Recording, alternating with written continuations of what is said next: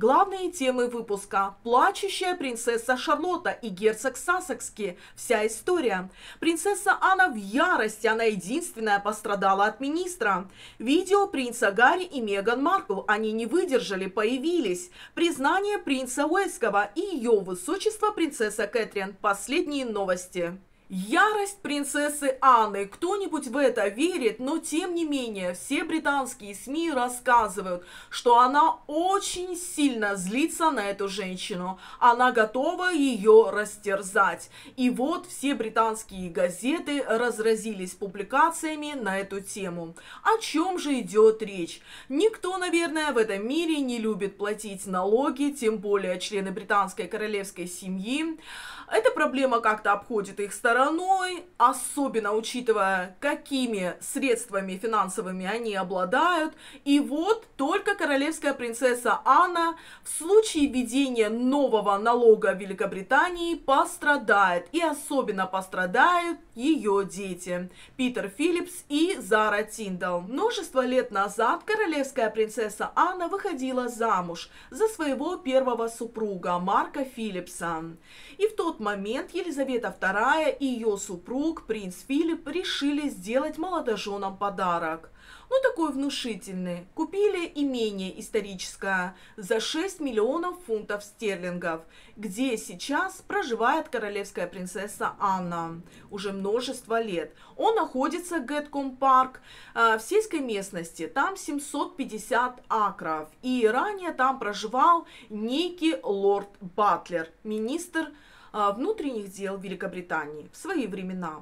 И вот она получила этот подарок, естественно, никаких налогов э, не было уплочено, все тип-топ при Елизавете было, а сейчас лейбористы вводят новый закон, который подразумевает, что именно дочь Елизаветы пострадает, потому что она проживает в сельской местности а повышение налогов на 20% означает, что это будет грабеж среди белого дня. То есть поместье, которое стоит миллионы и миллионы, если посчитают по рыночной стоимости, сколько процентиков в налог должны они уплатить, я про Питера Филлипса и про Зару Тиндал, которым, скорее всего, она завещает это поместье, то там сумма офигенная выходит. Вот что пишут СМИ.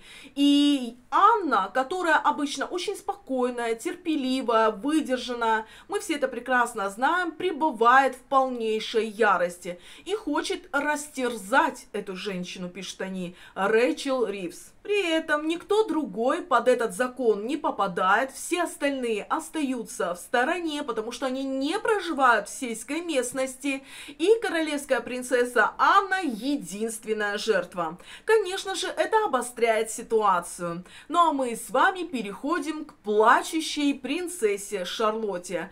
Причем утверждает, что она плакала буквально на взрыв. Она испугалась, она была в шоке, она не хотела, чтобы у ее отца была борода. Ну, это немного шутливая история, но тем не менее интересная, ее все пересказали. Принцесса Шарлотта была поражена, увидев отца с бородой. Она заплакала, рассказывает принц, и требовала убрать бороду. Ну, требовала это, наверное, слишком громко сказано, но тем не менее принц подался и все-таки сбрил бороду. И помните, когда они а, с принцессой Уэской Кэтрин появлялись в Саутпорте, мы его видели гладко выбритым. Это было из-за Шарлотты. И британские СМИ сразу же вспомнили принца Гарри, который а, очень сильно переживает за свою бороду также, который говорил, что принц Уэски никогда себе не позволит бороду. И вот Шарлотта не хотела, чтобы ее отец был похож на предателя Гарри. Как вам такой а, выворот событий?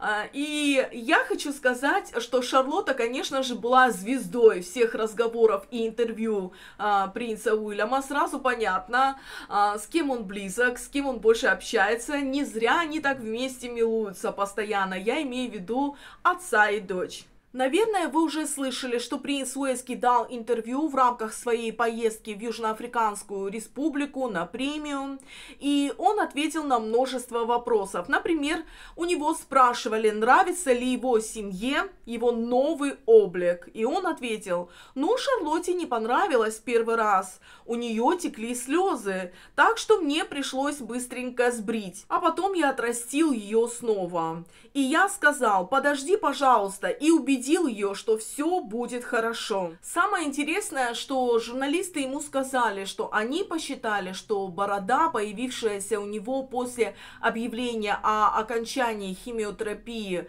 у принцессы Уэска Кэтрин, означает, что он наконец выдохнул, расслабился. И он ответил, что ему интересно, что вообще кто-то такое мог подумать, ну потому что год очень тяжелый и выдохнуть, расслабиться, это то, что ему не представляется возможным. То есть это не имеет к этому никакого отношения. И я хочу сказать, что принц Уэски был довольно-таки откровенен, много чего интересного наговорил, мы к этому вернемся. А сейчас принцесса Уэская Кэтрин. Потому что дворец не только подтвердил ее появление, но и еще сказал, что она появится на двух мероприятиях, в отличие от Камилы. Ни в коем случае не пропускайте наш выпуск завтра, в субботу. Обязательно смотрите канал Аморе Роyal. Подписывайтесь, мы вам покажем вечером появление принцессы Уэйской Кэтрин в Альберт-Холле. Там пройдут а, памятные мероприятия, будет концерт, как и каждый год. И она как подтверждено уже дворцом официально, появится вместе с остальной частью королевской семьи. Я сейчас всех перечислю, кто там будет. Кроме этого, на следующий день, воскресенье, тоже выпуск будет на канале Дочи News. Также она появится вместе со всеми остальными, и это будут мероприятия, связанные с кенотафа выход на балкон, возложение венков и все остальное. Ну, вы помните, я уверена. Интересно, какой образ будет у принцессы в этот раз. Очень хочется ее увидеть. Очень странно, и я надеюсь, что это случайное совпадение, что ее величество, королева Камила, не появится и в субботу, и в воскресенье, и, наконец, у принцессы Уэской будет возможность царствовать одной. Я, конечно же, немножко шучу, но тем не менее, после всех этих многочисленных скандалов между Томом Паркером Боузом, сыном королевы, и принцем Уэским, и принцессой Уэской, помните все эти публикации, обличающие она не появится. Но это странное совпадение. Тем не менее, мы увидим монарха, его старшего сына и его невестку. Мы увидим принца Эдварда с супругой Софи. А, надеюсь, у нее не осталось на лице никаких следов от э, меча мы также увидим Тимоти Лоренса и его супругу, королевскую принцессу Анну, а также герцога и герцогиню Глостерских. Герцогиня Глостерская, давайте остановимся на ее персоне. Она вот так прекрасно, элегантно выглядела и замещала королеву Камилу на мероприятиях, которые прошли вчера. Я Альбина, ваш любимый royal комментатор, и вы смотрите канал Дочи News. Надеюсь, вы успели соскучиться, милые зрители. Ну как, я вчера перенервничала, сидела целый день, ждала, пока уйдут строители. Они что-то делали с фасадом многоэтажки. Ну, я надеялась, надеялась, что они закончат работу в 4, в 5, но нет, и в 6. Они ушли где-то в 7 часов. Смысла уже не то, что сниматься не было, нужно было уже спать ложиться. Вот такие добросовестные строители работают в Сочи, только представьте. Ладно, с этим разобрались, но, честно говоря, вот такие внеплановые а, моменты, они выбивают из колеи. Столько всего теперь нужно рассказать. Если что-то не успею, вы сразу учитывайте, что я расскажу вам об этом завтра. Теперь прекрасное алое сердечко поставили? Надеюсь, поставили. И напишите, пожалуйста, комментарии. Буду благодарна. Делитесь нашими видео. Если не подписаны, обязательно подписывайтесь. Ну а я продолжу. Целых три месяца их не видели вместе. И где они были, жили ли раздельно, вот какой вопрос сейчас интересует СМИ. Ну а мы с вами переносимся новости из Монтесита. Вы, скорее всего, перед собой уже видите и принца Гарри, и герцогиню Сассекскую, которые плечом к плечу с маками стоят и что-то там вещают. Этот небольшой видеоролик а, с глобальным посылом появился на их сайте Archie Well. И почему они появились, буду вам сейчас рассказывать. Они появились в рамках первой глобальной министерской конференции ООН по прекращению насилия в отношении детей в Боготе, в Колумбии. Как вы, наверное, заметили сами, они находятся у себя дома, то есть они сделали эту запись и эту запись показали во время этой конференции в Боготе, в Колумбии. Что же касается именно появления Меган и Гарри сразу по окончании выборов в США э, и вот этих всех публикаций, что они были чернее тучи, что радоваться им нечему, что они вот появились, но выглядели очень и очень мрачно, я я не знаю, как к этому относиться. Не могли же они, говоря о насилии над детьми, о том, что происходит в мире, стоять и хохотать. Могли? Ну, в случае Меган, может быть, и могли бы, но Гарри, наверное, нет, но я, по крайней мере, на это надеюсь. Поэтому давайте забудем про эти публикации. Что на самом деле интересного произошло? А Гарри и Меган не появлялись не из-за принца Уэйского. И это мое личное мнение. И точно не из-за того, что а, король вместе с Камилой отправился в Австралию и Самоа. На мой взгляд, это было такое затишье перед бурей, они там что-то решали, и я уверена, что они сейчас о чем-то заявят, что-то произойдет более существенное. И я не удивлюсь, если это произойдет в субботу и воскресенье. Если они обозначат так крупно, кто их враг, то есть принцесса Уэльская Кэтрин, на мой взгляд, их положение в обществе станет еще хуже. Ну, потому что все обратят на это пристальное внимание.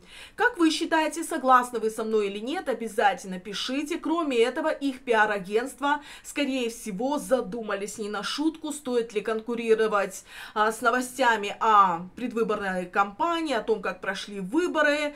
А, возможно, они были уверены, что первые полосы им не за заполучить, разве что развестись действительно. Вот если бы развелись или детей показали, если бы что-то случилось такое сбивающее с ног, тогда, может быть, где-нибудь в уголочке их разместили бы. Но так, конечно, было не до них. И они, скорее всего, именно из-за этого, из-за выборов в США и сидели дома тихо. Если сидели вдвоем я имею в виду. Сам же принц Гарри появился накануне, но об этом я расскажу чуть позже. Сейчас слова герцогини, которые она произнесла во время этого видеоролика. Давайте я вам зачитаю. «Мы с мужем осознаем, — сказала Меган Маркл, — что сегодняшняя реальность характеризуется большей связью и передовыми технологиями, что, конечно, имеет много положительных сторон, но также заставляет нас лучше понимать, как цифровое насилие в отношении детей проявляется в эту эпоху. Ну а когда несчастному Гарри дали слово, он сказал, что семьи ищут отчаянно поддержки, чтобы защитить своих детей. Видео длится две минуты, в конце они приобняли друг друга, скорее всего для того, чтобы убедить весь мир, что никто не расстается. Я, если честно, как и вы, скорее всего, так и не верила, что они там расстаются. Меган Маркл своего не упустит. Но еще интересно, что все обратили внимание на эти красные маки. Вот у принца Гарри традиционный мак, а у Меган Маркл мак такой же, как и у принцессы Уэйской Кэтрин в прошлом году, и как у королевы Камилы. А это какой-то непорядок. Почему у них разные маки? Вот такой прям глобальный, согласитесь, важный вопрос интересует британские СМИ. Какая разница, какой у него мак? Еще утром в наших социальных сетях я выложила фотографии с появления принца Гарри и Меган Маркл рассказала их появлении, и многие задавали вопрос, ну почему они вмешиваются в столь важные дела, какое они имеют право, кто их пригласил, позвал. Такие вопросы возникают очень часто. И я хочу ответить, всегда держите в голове, что он все-таки пятый в очереди на престол, сын принцессы Уэльской Дианы, сын действующего монарха. И это, конечно же, дает ему некие исключительные права а, на внимание. Понимаете, да, о чем я? А она уже как актриса, как его супруга, как человек, имеющий э, титул герцогини Сассекской, тоже появляется рядом с ним. Но именно в этом мероприятии речь идет о том, что они еще летом объявили о том, что создают новую платформу, где будут бороться с цифровым насилием в интернете. Помните, я вам об этом рассказывала. Parents Network называется. И вот в рамках своей работы с новой платформой они появились на конференции ООН. И там эти две минуты с принцем Гарри и Меган Маркл показывали. И поклонницы Меган Маркл очень сильно разволновались из-за ее жакета. Это бренд Ральф Лорен. Она носила этот жакет в последний раз в 2019 году. И вот не просто так носила. И посмотрите, у Гарри и у Меган совпадают цвета и у нее жакет, у него пиджак, цвет один и тот же, темно-синий. Как же они догадались одеться одинаково? Вот это всех волнует. Эксперты по языку тела, разве они могли остаться в стороне? Нет, конечно же. Они считали, что Меган Маркл и Гарри чувствовали себя очень напряженными, они выглядели серьезными, напряженными, серьезными. И вот они только об этом и пишут. Но кроме этого, каждая публикация, и это очень интересно, начинается со слов, что после трехмесячной разлуки, то есть они три месяца не появлялись рядом. Ну, действительно, срок немалый для Меган и Гарри, но они брали такие перерывы, было уже такое, так что я думаю, не в этом суть. Там что-то другое, что-то очень и очень важное. И Меган Маркл, которая когда-то очень сильно нахамила Дональду Трампу, на тот момент Меган Маркл была актрисой, она снималась э, в драме «Форс-мажоры» и проживала в Торонто. И во время съемок она давала интервью и сказала, что она не собирается возвращаться на родину и собирается жить в Канаде, потому что она не хочет жить в Америке. Там президент Дональд Трамп он жена-ненавистник. Вот так она его описывала. Ну и давайте, пожалуйста, сделаем ставки. А почему нет? Побежит ли от этого жена-ненавистника сейчас Меган Маркл куда-нибудь подальше? То ли в Канаду, то ли в Австралию, то ли в Африку, а вообще и в Португалии дом уже готов. Так что пишите. Как вы считаете, собирается ли покинуть США Меган Маркл из-за того, что к власти снова пришел тот самый Дональд Трамп? А мы с вами возвращаемся к новостям из Кенсингтонского дворца. Буду рассказывать, наконец, столько раз обещала вам рассказать, что происходило в ЮАР, на его премии Earthshot Prize. И вот все-все-все расскажу и все покажу. Такого эксклюзива вы нигде не найдете. Даже не сомневайтесь. Видеоряд. Так вот, первую очередь я хотела бы подчеркнуть, что Уилл назло мне дал интервью BBC и Sky News. Ну почему назло мне? Ну потому что и так пол выпуска про него, поэтому сегодня про это интервью я буду рассказывать вскользь. Но начиная эту историю принца Уэйского, хочу сказать, что он, со слов СМИ, жестоко потроллил герцогиню Сассекскую. А это мы с вами уже любим, согласитесь? Так вот, в один момент он позирует с баночкой варенья в руках. Как вы помните, еще полгода назад герцогиня Сассекская буквально терроризировала своих знакомых баночками варенья, но, безусловно, никто в британской королевской семье таких подарков не получил, и вот он с вареньем в руках улыбался во все свои 32 зуба. Это было варенье из инжира, а, пробовали, если да, мне, кстати, очень даже нравится, но немного сладковато, кисленький не хватает. И многие в социальных сетях решили даже пожалеть Меган Маркл, написали о том, что и король ее высмеял, и подвинул с ее баночками варенья, выпустив свои. Но он и так их выпускал, это она за ним повторила.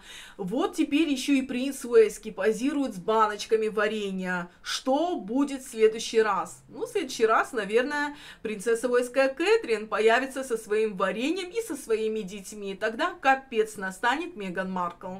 И давайте вернемся к его интервью. Ну, скоро Рождество, год почти подошел к концу, и у него спросили – как прошел его год, как он себя ощущает, как он себя чувствует. И он ответил, что, скорее всего, он может с уверенностью сказать, что это был самый тяжелый год в его жизни. Для него это стало большим испытанием.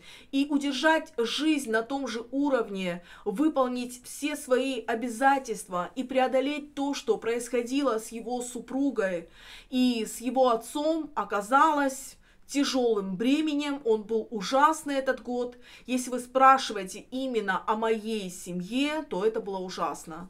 Хуже не было. И настолько откровенным он был впервые. И, конечно, впервые так открыто говорил о болезни своей супруги и болезни своего отца.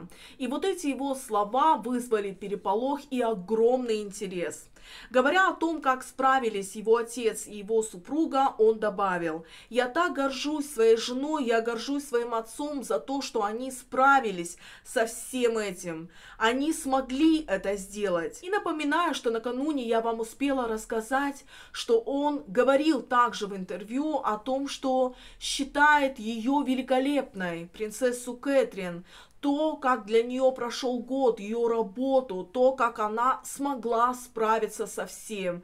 Он ей сделал несколько комплиментов. Помните, да? Ну и мы перемещаемся. Кейптаун. Вручение премии Earthshot Prize. И это огни, зеленая ковровая дорожка и принц Уэльский в необычном образе. И давайте начнем с внешнего вида. Несмотря на то, что каждый вечер я садилась перед вами и говорила, что он бархатный принц, никакого бархата мы не увидели. Этот образ casual, наверное, он вполне уместен, но я была удивлена, шокирована. Ну, он меня сразил на повал своими белыми, неуместными, но переработанными кроссовками, то есть они сделаны из переработанных материалов. Молодец, аплодисменты, но вместе с пиджаком, а, все вместе это выглядело как-то вот не очень. Рядом находились звезды, они носили вечерние наряды, все как-то, знаете, блистало, и тут он как будто зашел на огонек. Наверное, сейчас вы его будете защищать, и я согласна, что он хотел, наверное, предстать перед миром в совершенно другом виде, и у него это получилось сделать, всех удивил, но тем не менее как-то нет, с моей точки зрения нужно было носить бархат. Вся одежда, которую он носил из переработанных материалов. Вы, скорее всего, видите начало церемонии, и его объявляют его высочество принц Уэски. И он появляется, а, прошелся такой бодрой походкой, подошел к микрофону и начал здороваться прямом смысле этого слова, потому что он поздоровался на девяти языках что, безусловно, ставит плюсики ему в репутацию, многие его за это похвалили, и он очень так, э, знаете, активно говорил, не читал. Во время своей приветственной речи он много говорил о своей связи с Африкой. Накануне поездки он также много об этом говорил, мы вам рассказывали, но в этот раз он сказал, что именно африканский континент помог ему пережить боль потери матери. Это он, кстати, говорит впервые. Кроме этого, он говорил о принцессе Уэйской Кэтрин, о своей жене и о том, что он именно здесь, в Африке, сделал ей предложение. И, как вы видите, все удачно сложилось. На этом все. Выпуск на канале Дочи News подошел к концу. Огромное спасибо, что досмотрели до конца. Давайте увидимся с вами завтра. В субботу и воскресенье будут интереснейшие выпуски. Не пропустите, развлечем вас.